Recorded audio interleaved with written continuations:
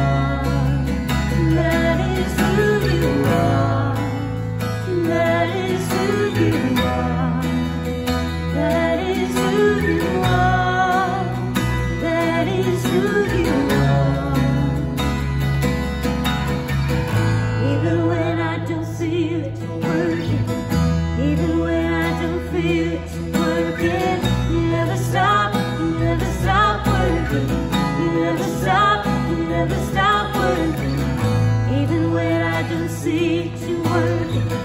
Either way.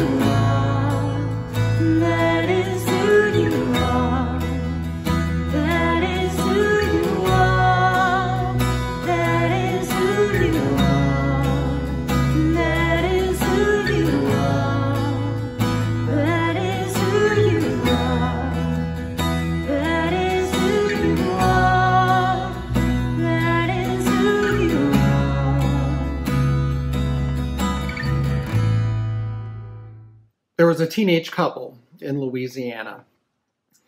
They had just come from their high school homecoming football game.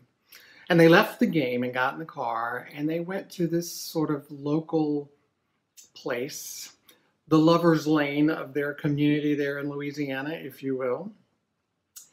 While they were there, this young couple was approached by two men. One of the men actually stood back and watched. He, he in fact, held the boyfriend at gunpoint while the other young man raped the young teenage girl. Afterwards, the rapist brutally murdered the young girl and the young boy, the teenage couple, left their bodies in a ditch, and ran off. As the story unfolded, eventually the young men were, were found, they were apprehended, they were tried, and they were convicted. The one doing the watching received a sentence of life imprisonment. The other young man received the death sentence by lethal injection. You know, there's always sort of a lengthy waiting period from the time of sentencing until the time that the death execution is actually taken place. And during that waiting period, there was a woman by the name of Helen Prejean. She was a nun, Sister Helen, and she began to establish a relationship with this young man on death row. In fact, she became his spiritual advisor. She got to know him and she attempted to sort of dig deeply in her conversations with him to see and understand his heart and just to find some sense of, of goodness there. She very worked very hard, but unsuccessfully fought and pleaded to overturn the death sentence. Um, you can well imagine that her efforts to befriend this young man and to give him any sense of, of compassion or understanding in his life, she received quite a bit of criticism from from many in the in the media and in the community, and especially from the two murder victims' families. Sister Helen Prejean tells her story of her interactions um, with this young man, how it is that they came to know one another, right through to his his ultimate execution, and some of the things that that occurred in the aftermath of his death. She tells her story in a book she wrote called Dead Man Walking. It was also made into a movie. And in, in both, you see her compassion for life, how she just values God's creation, even those who commit the most evil and heinous of acts, as this young man had done. She talks about uh, her love of life despite the murderer's total lack of regard for life. And she also helps us see into the story of the two families that lost two very precious young people. A total gut wrenching, senseless loss. Why? Why did that have to happen? It was so wrong. Those teenagers had the rest of their lives ahead of them. They were so innocent. And it was all just so, so unfair. You know, God gets the last word. He always has the last word. Last week, as we studied together, we talked about how God has the last word in our life discouragement. And today we're going to talk about how God has the last word in our unfairness. We're going to look in a, story in the Old Testament about uh, two brothers. We begin there, Jacob and Esau. Jacob and Esau were twin boys, and we're told in the scripture that they struggled within their mother's wombs. In other words, they were at each other even before they came into the world. And the tradition of their culture in their day was that the oldest son, he had all the, the family rights. You know, he, he got everything. Uh, and technically, Esau was the first, the eldest to be born. Jacob came right behind him, but it was Esau that had all the family rights and blessings. the boys were, were growing up, and it was obvious at a very early age they were very, very different. They had different interests and different desires. They lived life very differently. Their parents, Isaac and Rebekah, played favorites with the boys. Isaac was quite fond of Esau, the outdoorsman. Rebekah really loved Jacob, the one who stood a little bit closer to home and, and cared more about things in the home and family. There was a time when Esau had been out in the fields and, and doing his work for the day, and he came into the house just absolutely famished, starving. His brother Jacob was preparing some sort of a, a stew that he had made. And Jacob was so hungry, he said, Hey, give me something to eat, brother. And uh, Jacob said, Fine, yeah, I'll give you something to eat. But in order to do so, you need to give me your birthright as the eldest, the firstborn. Well, in a moment of complete lack of judgment and weakness, Esau agreed to this strange request and, in fact, gave up his birthright for a bowl of stew. Later, there was a time when um, Isaac was getting older, his eyesight was failing, his health was failing. And Jacob, with the help and at the initiation of his mother Rebekah, they actually tricked their, the father Isaac into thinking that he, Jacob, was the eldest son to Esau, and Isaac pronounced his blessing over who he thought was his eldest son Esau, but in fact was the younger of the two boys, Jacob. Esau found out about this, was absolutely outraged. And now, you know, Jacob had crossed the line. You've done it now, bro. It's time to get you. And he was out to actually murder his brother. Well, the parents would not have any of that. And so what they did was they sent Jacob off to safety to uh, a community down the way where his uncle Laban lived. And Uncle Laban um, would take care of him. And sure enough, that's what Jacob did. He sought some refuge there. When he got there, he met this young woman. Her name was Rachel. Turns out she was his cousin. And as Laban goes, or as Laban invites Jacob into his home to stay, Jacob explains to his uncle how he's he's got the eye for the for daughter Rachel. And they actually negotiate some marriage terms. In their day and in their culture, the whole cousin marriage thing was, was a fine thing for them. Sure enough, Jacob does the work, and Uncle Laban says it's time to take my daughter Rachel as your wife. So there's a wedding, big, big party. There must have been some sort of spirits flowing there. And I'm talking about liquid spirits here, such that at the conclusion of this wedding and the wedding night happens, and the next morning, Jacob wakes up, and laying there beside him is not his bride, Rachel, but instead her older sister, Leah. Now, folks, I don't quite understand how that could happen, but that's how it happened. It sounds whew, pretty wild to me. You know, if you're tired of binge watching Netflix these days, pick up your Bible and start reading it. There's all kinds of stuff here. You can't make this up. That morning, he wakes up and discovers that, in fact, he is not married Rachel, his beloved, but instead he's gotten the older sister that he really had not paid much attention at all to. Jacob's upset, obviously. He goes back to his uncle. He says, Hey, look, the deal was I was working for Rachel. And so Uncle Laban again initiates some terms, and sure enough, Jacob ends up taking Rachel for his wife as well. Again, in their day and in their culture, multiple wives was a thing that was accepted and it was tradition. And so, sure enough, now he has both sisters as his wives. However, Rachel was clearly the one that Jacob loved. Leah, not so much so. She was just in the way. Just in the way. We're going to pick up on that story here and read a little bit more in Genesis chapter 29. And I invite you, if you have your Bibles, to please open them up and follow along. And I also invite you to read the whole story uh, later on today, as it's it's a good one and it's a powerful one. And I encourage you to read it. Genesis chapter 29, you'll see the scripture verses there on the screen before you, and you can just listen along as I read. But Genesis chapter 29, beginning with the 31st verse. And here we read When the Lord saw that Leah was unloved, he opened up her womb. But Rachel was barren. Leah conceived and bore a son, and she named him Reuben.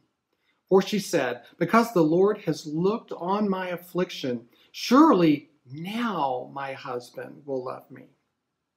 She conceived again, and she bore a son, and said, Because the Lord has heard that I am hated, he has given me this son also. And she named him Simeon. And again she conceived and bore a son, and said, Now, this time my husband will be joined to me, because I have borne him three sons. Therefore he was named Levi.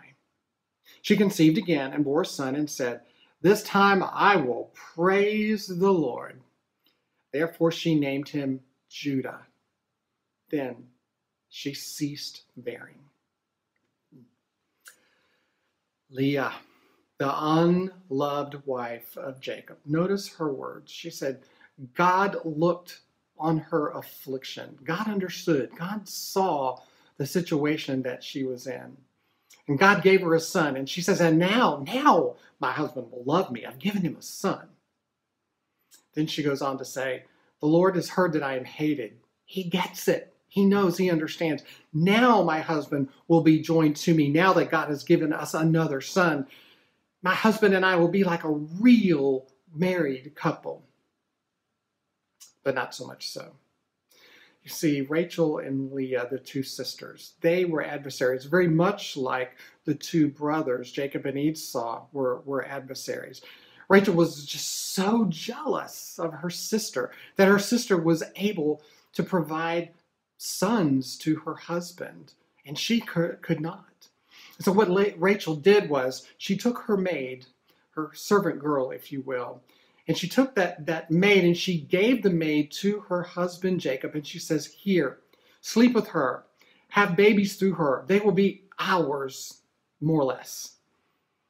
Well, Leah was not to be undone, and since she was unable to have children, it seemed, what she did was she did the same. She took her maid, she had one too. She took her maid, she took that maid to Jacob and said, Here, sleep with her, have children with her, and then we too will have more children together.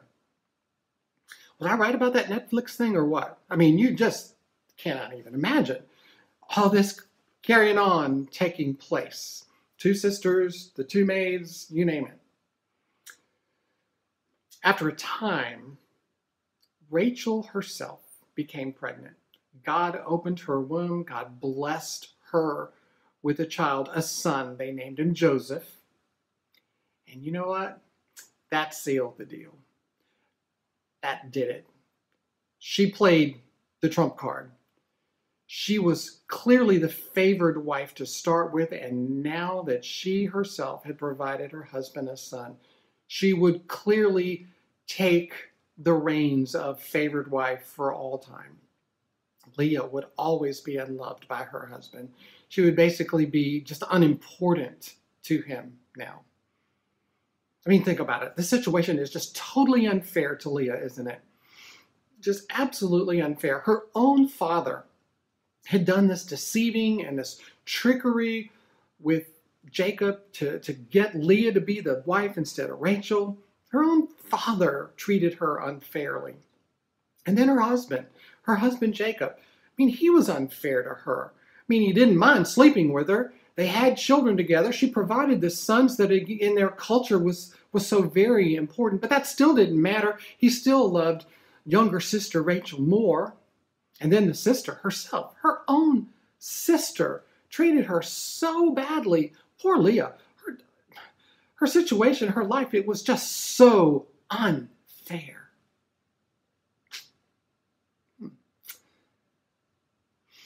But think with me for a moment. Who is the greatest king in Israel's history? King David. And who is the wisest man in all of Israel's history? Some people would say he's the wisest man to have ever lived. That was David's son, King Solomon.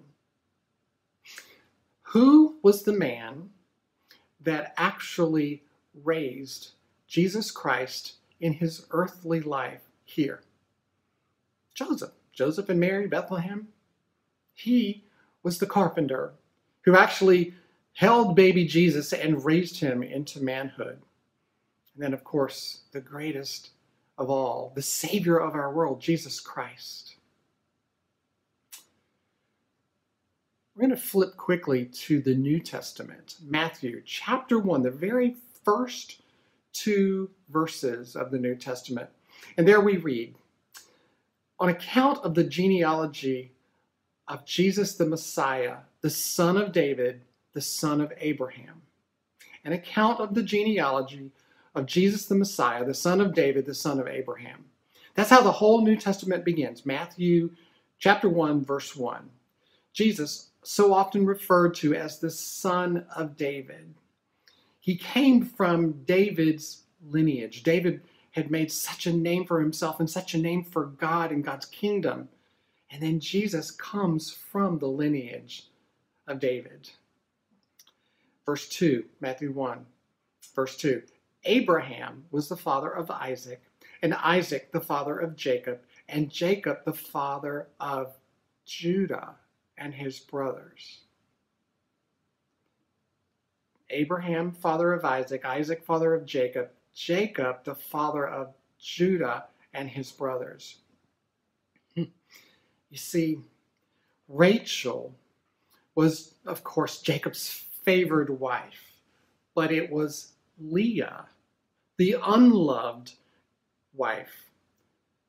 She gave birth to Judah. Now, Judah, if you read about Judah, and I encourage you to do so, he was no saint, mind you. He's another different sort of Netflix episode to watch.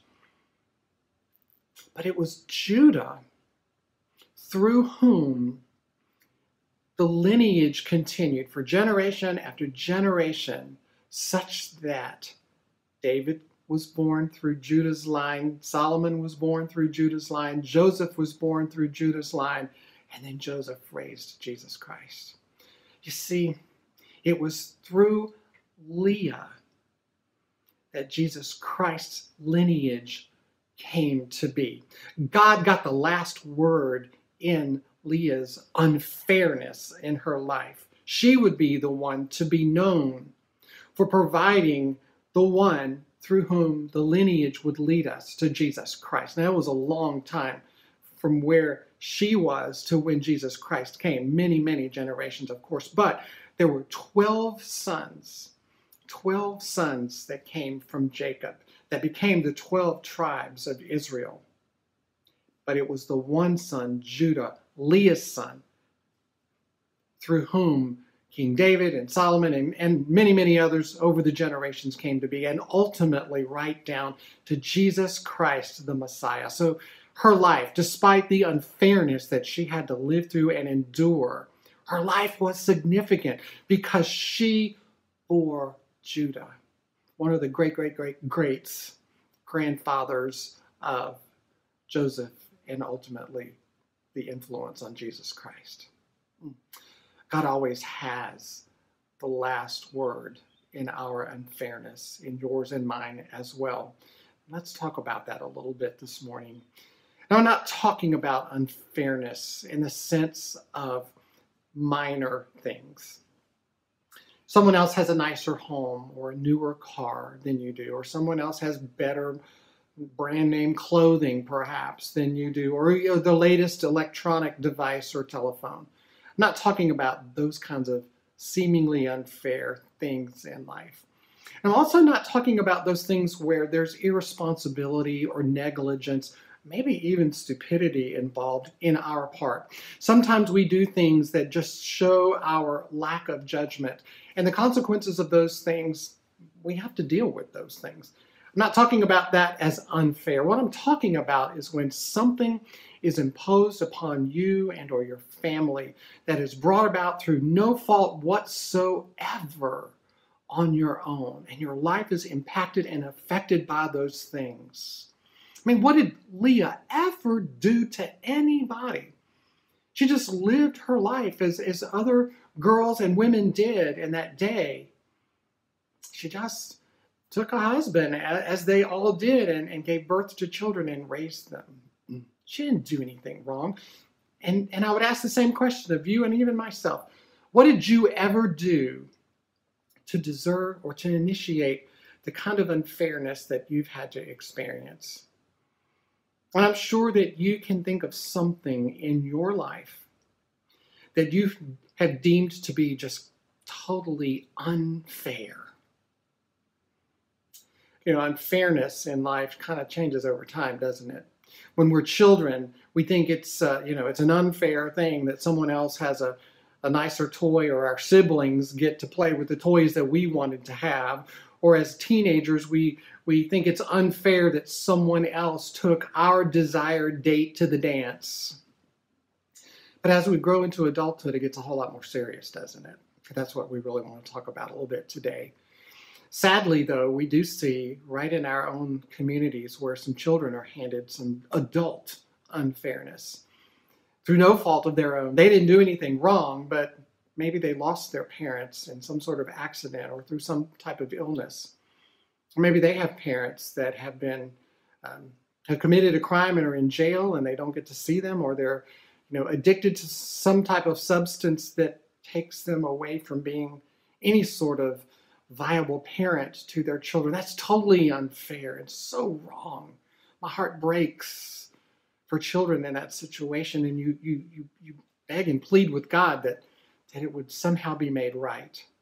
But think about your own life. Maybe in your situation, maybe you're in a, in a work situation where a coworker thought your idea was so great that they took it to the boss and ultimately they got all the credit for something that you initiated. That's not fair. Or maybe someone else uh, in the workplace, in the office, got the, the promotion that everybody was looking toward, and you really had the credentials and you'd put in the blood and sweat equity to get it. You had worked really, really hard, but for whatever sort of ununderstandable reason, someone else got that promotion instead. It's just unfair. It's just unfair. Perhaps you're one of those families where you desired children and wanted children desperately in your family and, and just couldn't, for whatever reason, just couldn't. And yet we see others who really aren't longing for children, and yet they seem to be able to conceive right off the bat. And sadly, in so many cases, don't want those children. And in, often when they don't, will just commit the murder of abortion to undo what they consider a mistake that they've made. That's so unfair that those folks are able to conceive, but, but you're not. Maybe you're someone who has an illness, not through any sort of thing that you did to contract it, it just, just happened. Or maybe there's been a loss in your life of a, of a, a sibling, a parent, a spouse that just just feels so wrong and so unfair. Maybe it's a broken relationship where the one that you cared so deeply for, that you loved so very much, all of a sudden, out of the blue, seemed to decide that this isn't for them anymore. They're just done and the relationship is gone. Maybe they just had some sort of senseless change of mind or heart and what you thought was was a future suddenly is ended. It's unfair. You know, another unfairness is, is what COVID 19 has taken from, from us. All of us have experienced its effects one way or the other. If you're one of those people who, who has been working harder and longer than ever before, maybe you're one of the healthcare workers who we cherish and love and thank you for all that you're doing for us, or other kinds of workers that keep foods on our tables and, and the, the workings of our community still going as so many people are in isolation in these days. We thank you for that. Maybe you're one that's that feels very stuck at home and felt feels like you know all of life has been kind of put on hold. Whatever the case may be, it's unfair You didn't do anything. We hear a lot about uh, in our world today about uh, life opportunities and how some people are entitled and privileged and have just simply because of where they were born and the parents they were born into, they have all kinds of opportunities that others perhaps do not. Others have these seemingly impossible obstacles to get over and around. And it's just unfair. It's just unfair that some have it made, so to speak, and others hardly stand a chance. Again, you know what your unfairness is in your life. When you think about it, unfairness makes us feel insignificant, doesn't it? Look at Leah. She just felt kind of worthless. That, you know, her husband didn't love her, her sister didn't love her, her father, the, the stuff that he did, Leah just felt insignificant. Unfairness makes us feel unappreciated and sometimes just downright unnecessary. Unfairness in life will bring hurt and pain sometimes through people that perhaps we thought loved us, but then we determine maybe not. And that's there, thus the unfairness. Unfairness makes us feel that our life somehow lacks meaning and lacks value. So, what do we do? You know, what do we do when unfairness hits us from whatever source, whatever the, the details might be? Let me encourage you this morning, and, and I wrestle with this myself. Uh, let me encourage you to see God in it to see God, to see God in the midst of the unfairness of your life. I know it's hard and it's difficult to get past some of the, the emotions and the anguish and even the despair that unfairness can kind of impose upon our lives. And that's just it. When it imposes upon us, as opposed to us initiating it or us prompting it through bad decisions, when it's just thrown on us, it's just so unfair and sometimes so hard to deal with. But let me encourage you try, do your best to see God in it and to envision His grander purpose in you and in your unfairness. Because you know, you're a child of God and He loves you like no other. And regardless of what has been thrown upon you, God still uses your life and mine as we surrender ourselves to Him and we beg and plead with Him to do so. God uses our lives for His glory and to bring significance to His kingdom. You know, Leah, she knew God saw her. That's a beautiful thing. She was able to see God in the midst of this, this bad marriage that she was in. She knew God saw her and remembered her and blessed her. He blessed her with the gift of children. She knew that and she saw God's hand in that. Even if her husband didn't love her, God did and she knew it.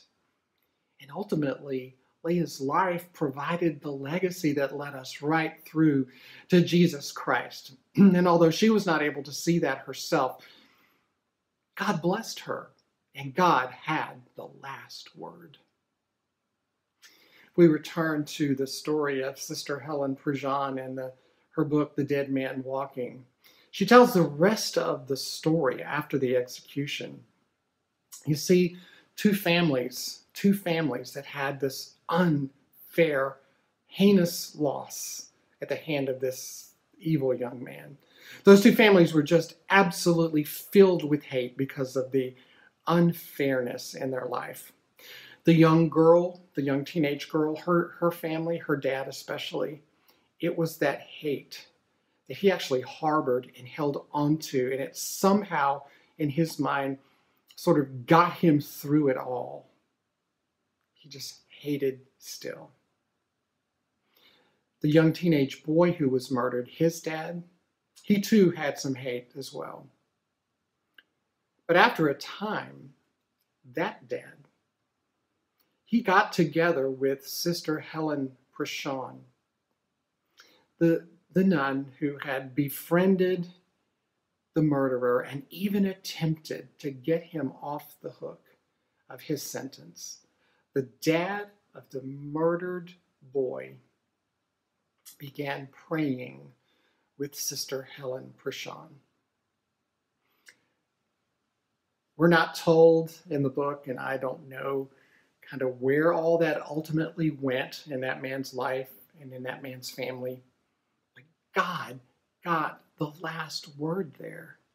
This man turned his heart toward God, at least in the means of praying with this woman who he clearly saw as a spiritual advisor, who someone who knew God, and he turned to God through her. God got the last word. Do you see God getting the last word in your unfairness today? Mean, let's go back to that, that workplace situation where there's some unfairness taking place there. It's just not right, and you know it's not right, and everything within you wants to just well up and scream and holler and make a case out of it and demand some sort of, of making it right. But maybe, maybe in the midst of all of that, there's a way for you to see through to what is it that God is doing. Maybe the person that, that got the credit for that stolen idea of yours or got that promotion that you clearly deserved. Maybe there's a way that in the midst of that unfairness, that you can help that person see that you know work accolades, career accolades, as wonderful as they are, they're not they're not all. What's even better is a true and sincere personal relationship with God. Maybe there's some doors of opportunity that are opened there for you in your unfairness. I've seen those who have struggled having a family and gotten through the anguish and despair of not being able to have children, to foster children, to adopt children, to take on children that, for whatever reason, didn't have the opportunities uh, that so many do, in fact, have. And these parents who couldn't conceive on their own have provided these amazing, God honoring, God loving, God serving, and worshiping homes for other young children that weren't going to have that opportunity. What a blessing it is to see God in that unfairness and to envision how He can make something special and amazing out of it. Illness and loss, they're hard, they're heartbreaking. But, you know, I've I've got someone very, very close to me that that is enduring illness. I've got several in my family and what I hear so often is, despite the illness, that the illness itself has, has opened doors.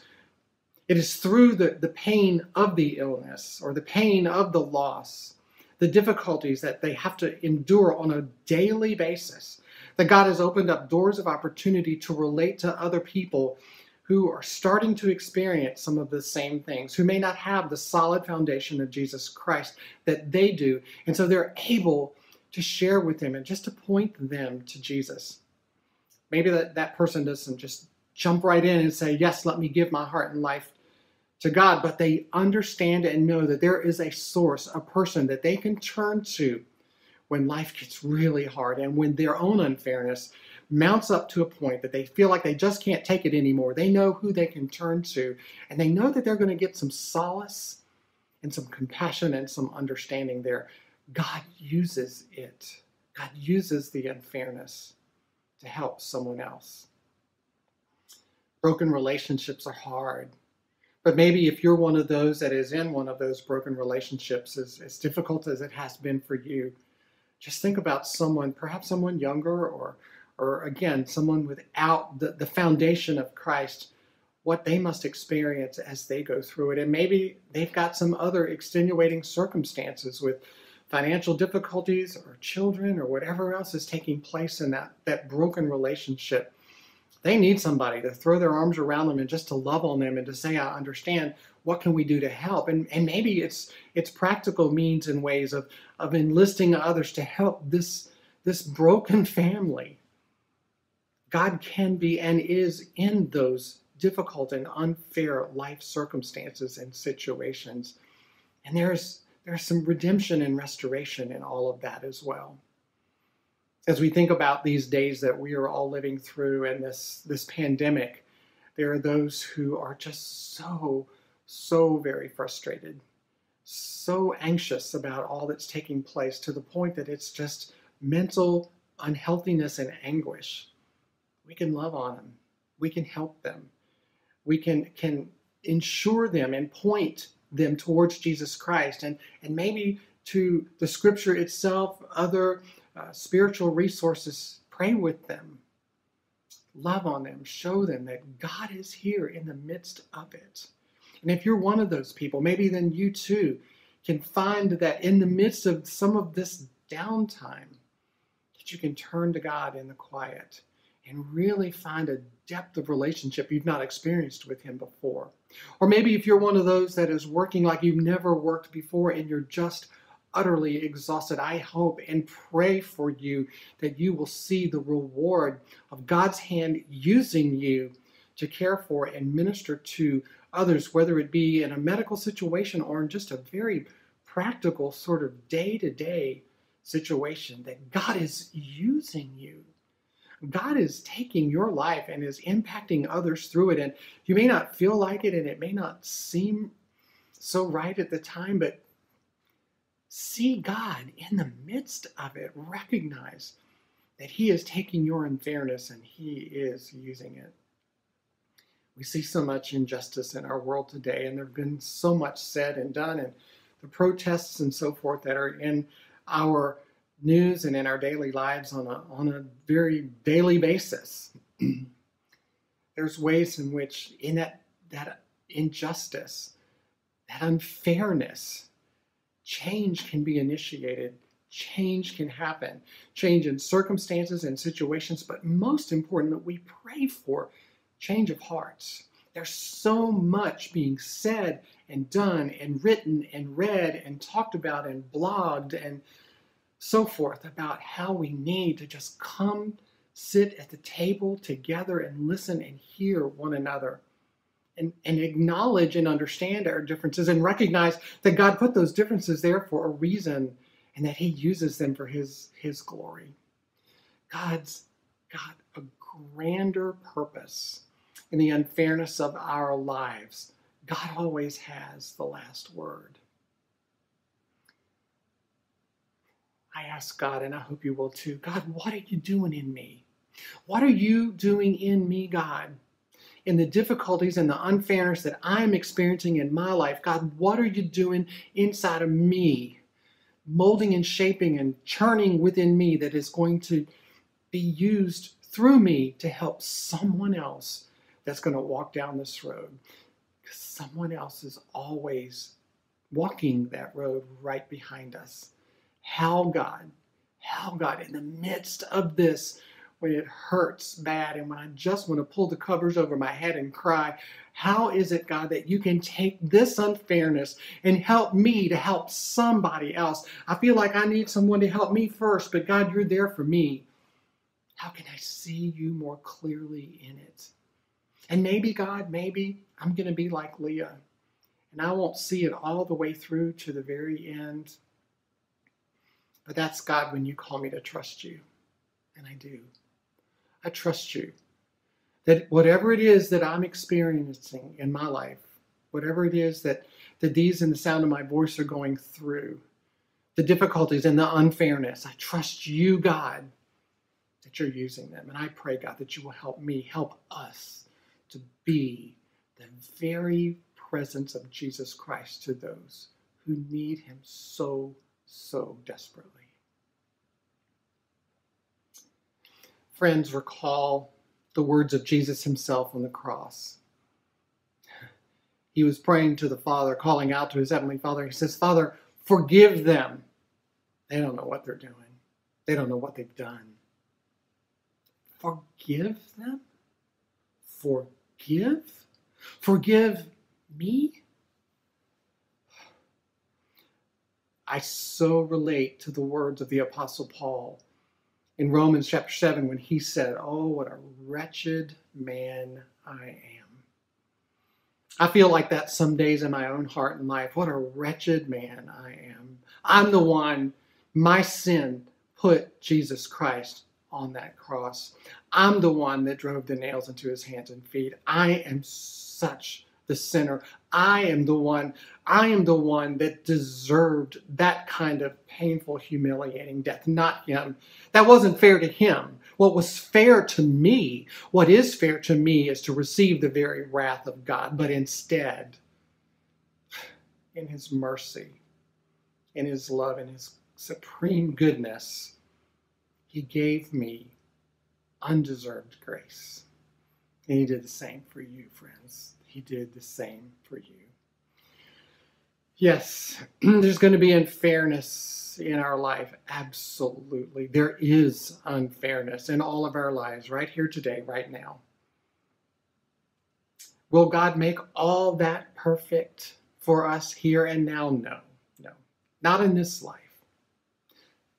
But here's his promise He will make it purposeful. He will make our unfairness purposeful and use it for His glory, to draw someone else to Him. God always has the last word in our unfairness. Please, won't you pray with me this morning? God, we know that you are filled with goodness and mercy and such love for each and every one of us. How we treasure and cherish you in that love. Father, forgive us, forgive me for the ways and means and things that I've done and thought and said that dishonor you and that don't bring glory to your name. And instead, Lord God, help point those out to me. Work within me to change those things. Change my heart, Lord God. Fill my spirit with yours such that I can become more and more each and every day more like your Son, Jesus Christ.